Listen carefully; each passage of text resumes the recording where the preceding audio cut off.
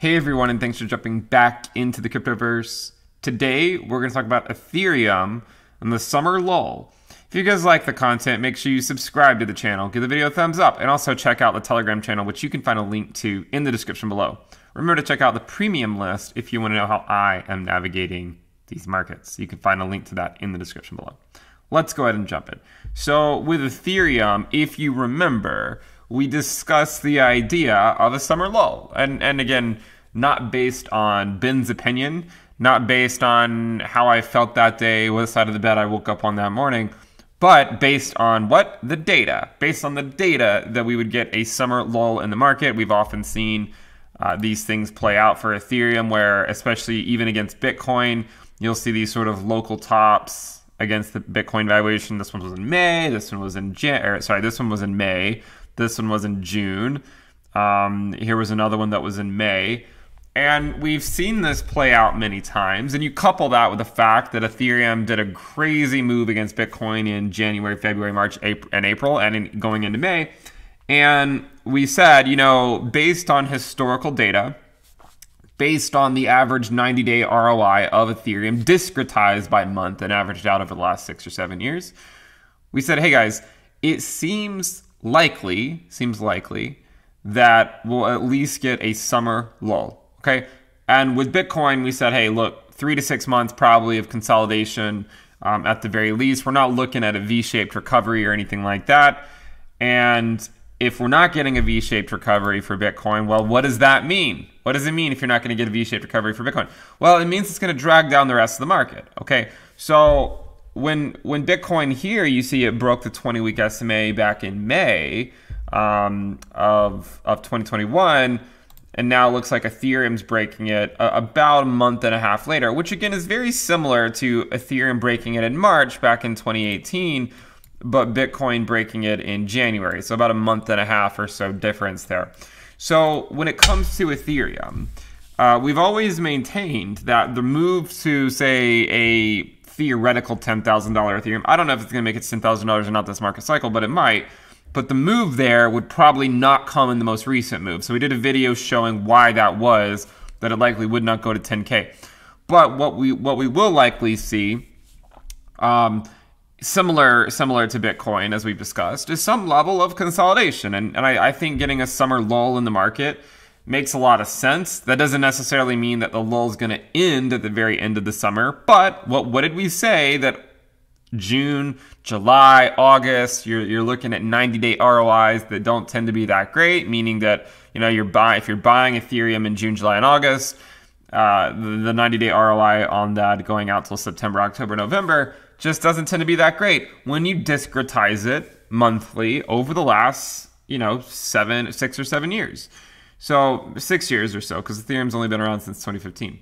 So that's where we are today. Okay, now we'll have to see how the rest of you know of the summer plays out.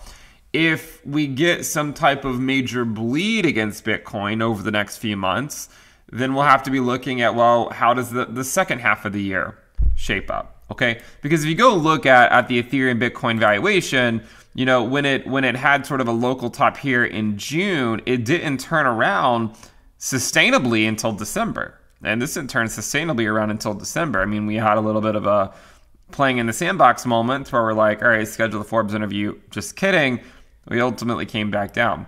And then in, in May of 2016, again, we had a sort of a fake out in September, but we really didn't see a sustained move back up to new all time highs over here until until the next year.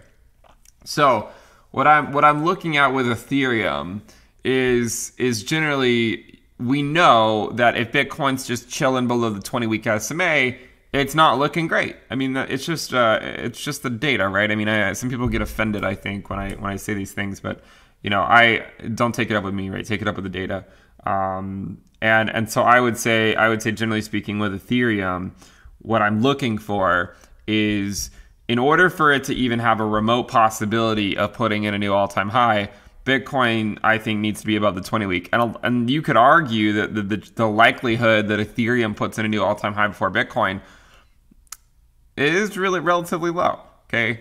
Doesn't mean it can't happen. It certainly doesn't mean it can't happen.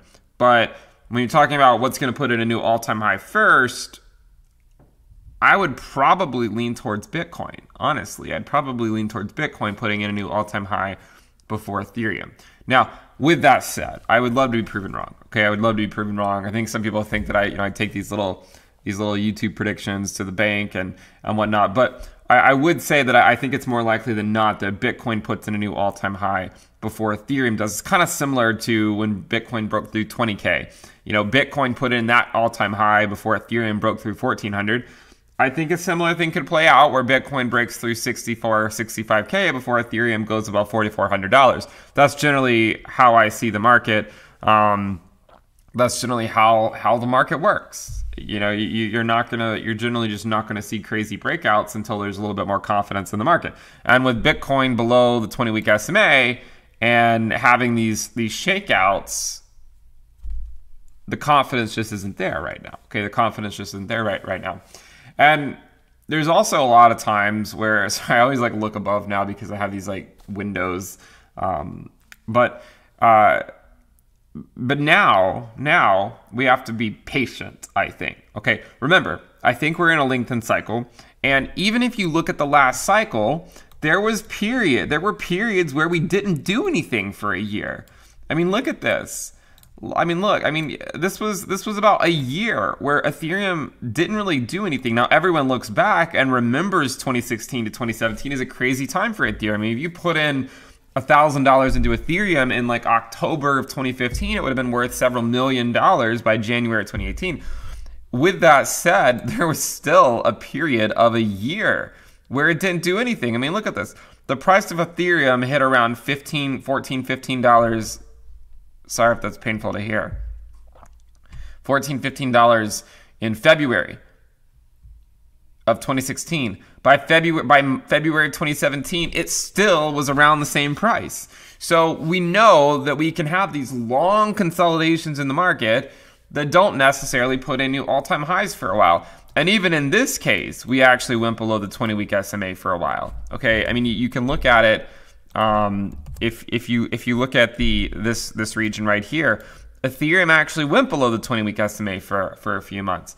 So th- this is why we've been saying, you know, it, seeing Bitcoin go below the 20 week SMA can sometimes be a precursor to then watching Ethereum do it if Bitcoin is unable to put in a V-shaped recovery, and we speculated that Bitcoin will likely not be able to put in a V-shaped recovery.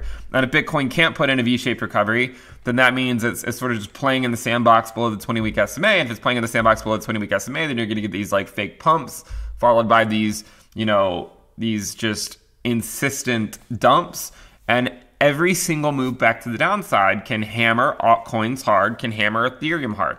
So again, I know there's the whole okay, Ethereum's going to get an upgrade and whatnot.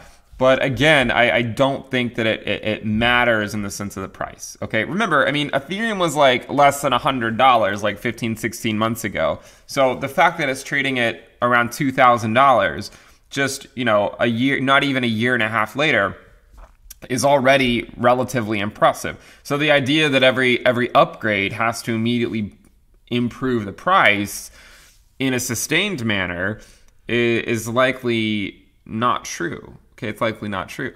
Now that doesn't mean that it, the long-term effects won't won't make things better. It probably will, but I, I just don't think when you're when, when you're dealing with a very speculative market and, and where prices are driven by FOMO and these crazy bubbles, I people are buying.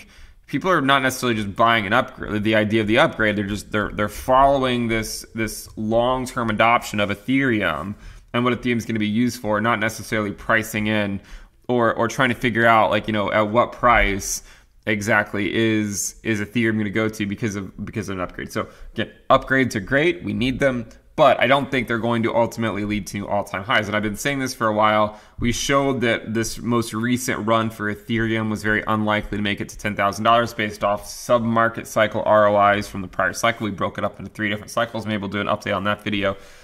So then we'll start the new subcycle whenever we can find a bottom. But I mean, again, to some degree, if you're, you know, it's like trying to catch a falling knife, as they say. If Bitcoin goes down, Ethereum's going to keep getting hammered. That's just the way it is. Okay, I don't control the way it is. I don't. I don't. I just. I just want you guys to know the way it is. That if Bitcoin continues to to pull back, then you're going to continue to see this type of price action from from Ethereum. So we'll keep an eye on Ethereum. You know, we we were in this sort of uptrend channel since you could argue since July of 2019, and we've recently moved above it. We're still above it, in fact.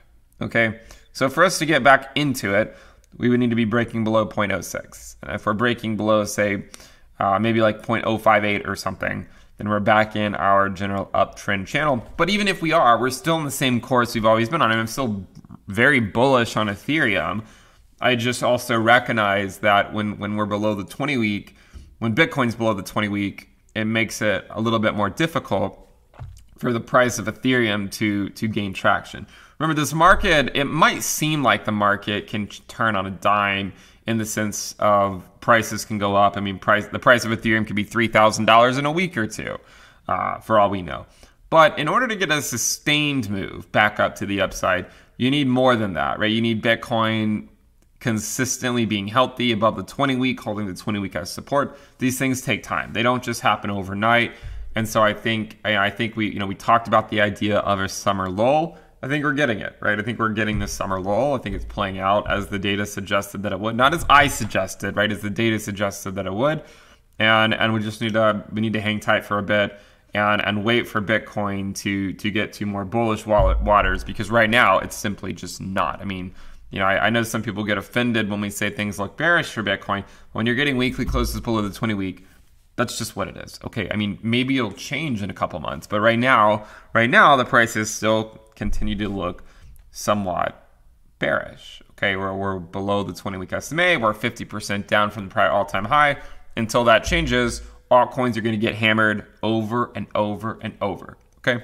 So if you guys like the content, make sure you subscribe to the channel, give the video a thumbs up, and also check out the Telegram channel, which you can find a link to in the description below. Remember to check out the premium list if you want to know how I'm navigating these markets. Thank you guys for tuning in. Definitely subscribe, and I will see you next time. Bye.